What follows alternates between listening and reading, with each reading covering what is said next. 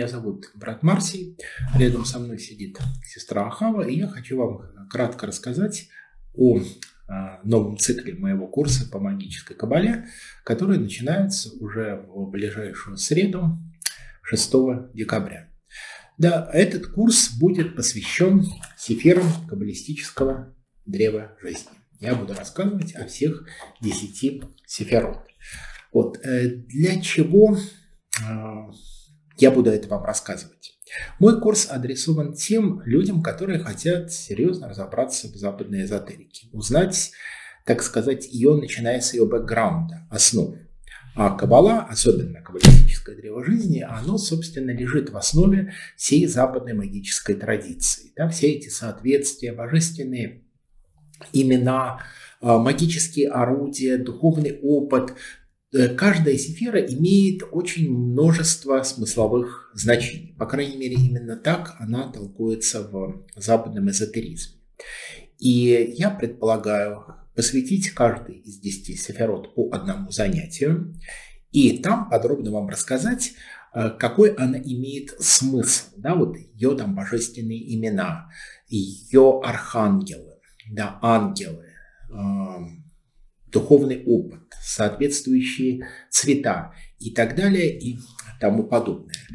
А, эта система поможет, на мой взгляд, связать вам те знания, которые, допустим, вы уже имеете по западной эзотерике, поможет их вам объединить в некую единую систему. То есть ваши знания будут упорядочены, ваши знания будут а, логичны, вы поймете, что вытекает из другого. Мне представляется это очень важно. И, собственно, этот курс, он ведь будет интересен не только тем, кому там, интересна Кабала или, допустим, даже э, иудейская мистическая магическая традиция. Вот посмотрите на эту схему, да, если вы обратите внимание, то здесь, во-первых, изображены 22 аркана, которые соответствуют 22 путям. Далее а, в каждой сефире есть некие астрологические и алхимические знаки. Уже из этого понятно, что Каббала, каббалистическое древо жизни, она связана с массой эзотерических э, наук. И мне бы хотелось, чтобы вы могли их изучать как бы в комплексе, совокупно.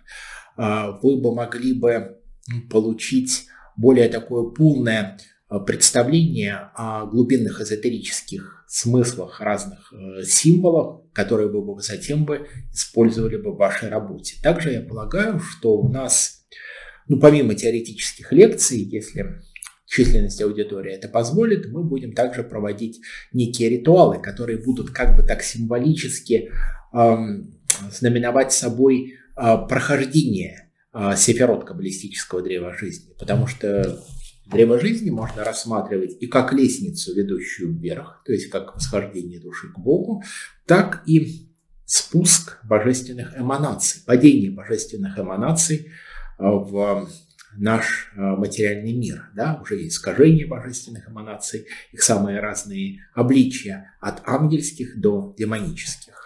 А, брат Марсей, а курс рассчитан на тех, у кого уже есть эзотерический бэкграунд? Или, в принципе, с него можно и начать? Как я понимаю, это, в общем-то, часть вашего большого курса по Кабале, где уже были какие-то лекции? Да, были. Возможно начать как бы да, да, да, с были, этого? Или а, надо обязательно? Были, были уже лекции, были лекции э, по путям, но я полагаю, что вот этот э, как бы цикл по сефирам каббалистического древа жизни, по 10 сефирам, он как бы является центральным, он является наиболее важным.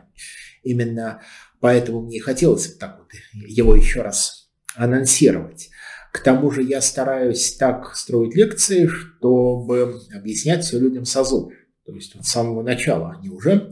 Эм, то есть я не предполагаю, что ко мне придет какая-то продвинутая аудитория с неким уровнем знаний по еврейскому мистицизму или даже по западной эзотерической традиции. Я стараюсь все объяснять достаточно просто, вот, но вместе с тем я стараюсь раскрывать и какие-то глубинные смыслы, так что курс это э, также имеет вполне самостоятельное значение.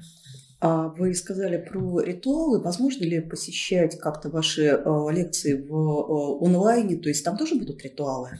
Да, курс будет вестись как в реале, так и в онлайне.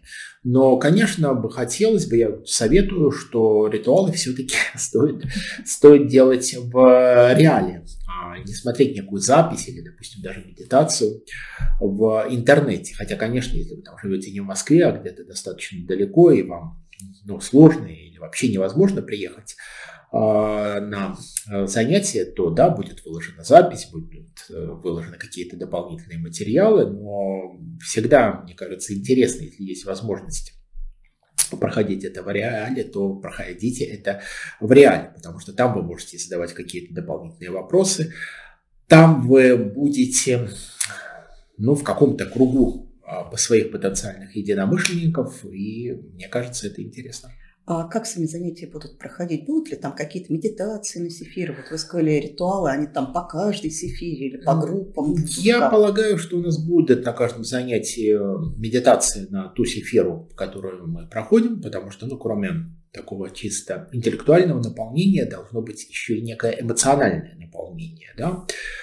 Вот, и э, к тому же, после того, как мы пройдем, ну, например, вот три высшие сефиры, Гитер, Хакму и Бено, то я как раз полагаю, что можно устроить некий такой символический ритуал, означающий их прохождение, означающий своего рода такой переход пропасть и нисхождение в материальный мир.